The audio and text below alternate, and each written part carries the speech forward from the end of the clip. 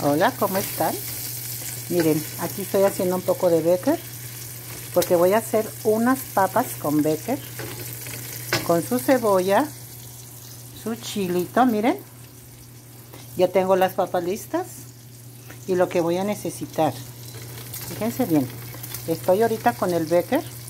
Quiero que se lo corte en pedacitos porque quiero que agarre muy bien el sabor y que esté doradito antes de poner la cebolla y el chile poblano. ¿Sí? Miren, lo pongo en eh, está baja la temperatura para que no se me queme. ¿Sí? Una vez que esté bien, voy a ponerle lo demás. Mire,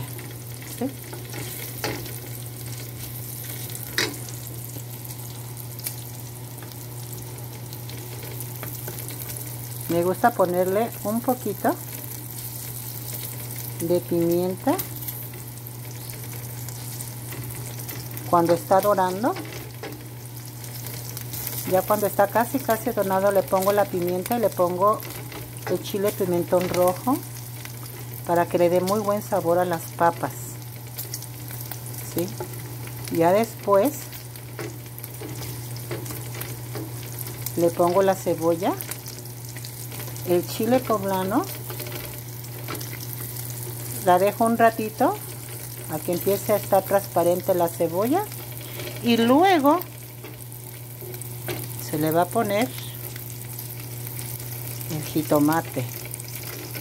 Ese lo molí con un ajito y le puse una de consomé de pollo porque ya lleva el sabor del becker. Nada más le puse una para que tenga otro saborcito diferente. Miren, ve, ya está empezando a empezar a brincar más. Ya se ve menos la grasa, ya se ve más cafecita. ¿Sí? Miren. Vamos a ver si así se ve mejor. Ok.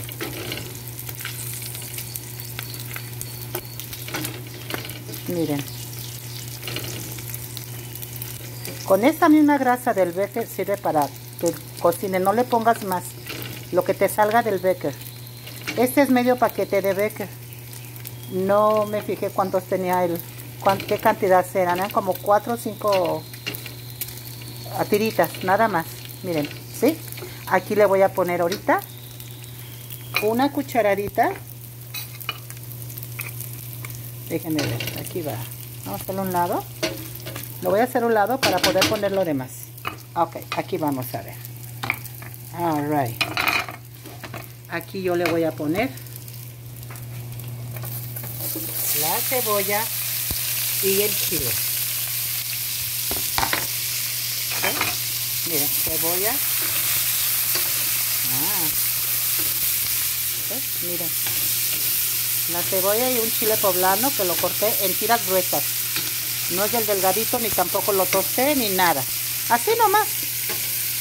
Es todo. Miren qué bonito está quedando. Ya bajó el fuego. Luego, luego, cuando ya empieza a entrar otro, empieza a bajar. Ok. Le voy a hacer aquí, en un lugarcito, un hoyito. Y aquí yo le voy a poner una cucharadita, miren, de chile pimiento ahumado del español y una cucharadita de pimienta molida. Eso va a ser todo por ahorita, ¿ok? Miren, ¿por qué me gusta? Porque miren, ahorita con esta grasita que está aquí en un lado, espero que me alcancen a ver, ¿sí? Yo lo pongo aquí. Cuando está ya calentándose, miren, ¿qué es lo que pasa? Miren la grasita, ¿Se fijan que hace un poco de, espuma? ¿Sí? Saca toda esa grasita, le saca todo el sabor al pimentón y a la pimienta, miren. ¿Sí? Y ahora sí, ya que está eso, lo mezclo todo. Todo se mezcla. Miren, rápido, rápido. Ya la cebolla ya está transparente. ¿Sí? Miren.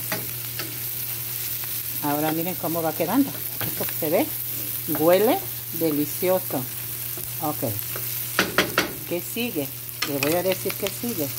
Ahora van a seguir las papas. ¿Sí? Las cortan en cuadritos y las ponen. Yo estoy usando una papa de la chiquita que no le quité ni la cáscara porque está delgadita y empiezan a menearle para que agarre toda esta grasita toda la grasita. Miren ahí va.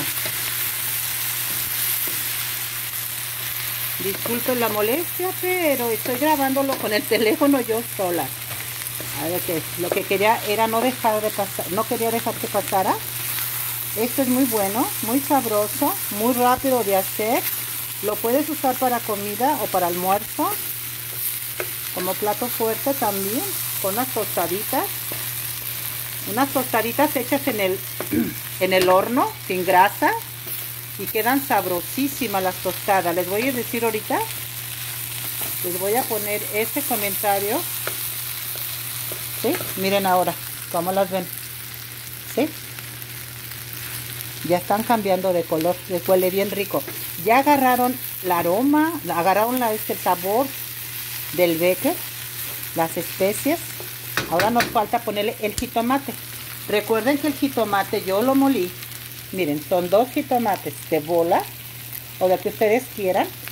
Los molí con un ajo y un cubito de noz suiza. Ok, ahí se lo pusimos ya. Ok, ahora vamos a volver a menear.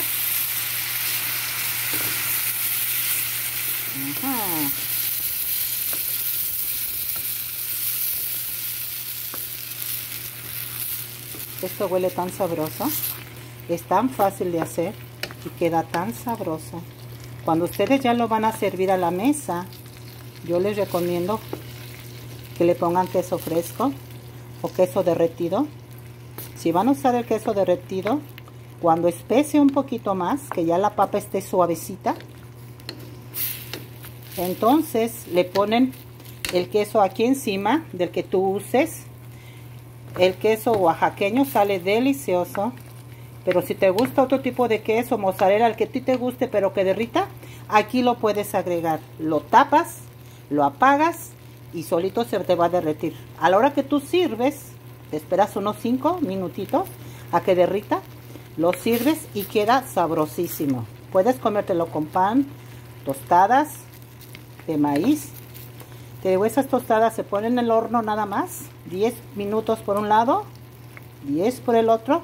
Y te salen unas ricas tostadas sin grasa y sin tener que hacer batidillos en tu estufa. Ahora voy a ponerle un poquito más de agua. ¿Sí? Es muy poquita el agua que se le va a poner. Porque quiero que cosa bien la papa, casi se derrita la papa.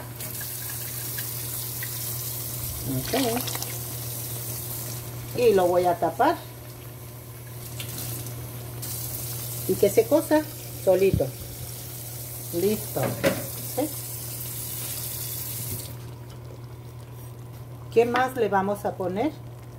Le voy a poner un poco de sal. Recuerden que la sal es a tu gusto. ¿Sí? Eso es muy importante cuando tú pones, recuerda que es todo tu gusto. Yo te doy una idea, tú lo puedes hacer. Mira, ya ahorita se ve mucho caldillo. ¿Por qué tiene tanto caldillo? Porque tiene que cocer bien la papa. Yo les recomiendo que puedas cortarlo, mételo a un, refractario que puedas usarlo en el microwave Ponle 6 minutos y adelanta la cocción un poco a la mitad. La otra mitad ya aquí lo pones y agarra todos los sabores. Mira, ¿sí? Ahorita lo voy a volver a tapar. Y en 15 minutos esto ya está. Como te digo, si lo vas a hacer con queso derretido, bueno, 5 minutos antes de que esté, que ya esto resecó un poquito más, le vas a poner el queso, lo tapas, lo apagas y espera 5 minutos antes de servirlo para que se derrita bien. ¿Ok? Bueno, te dejo, te espero hasta la próxima. Bye. Y no se te olvide que cuando entres a mi página, lo único que te pido nada más que me pongas like. Algún comentario del que tú quieras hacer. Puedes hacerlo, bueno, malo o una cosa que tú quieras que yo te adhiera, dímelo. Bye, nos vemos. Hasta la próxima. Recomiéndame con tus amistades. Bye.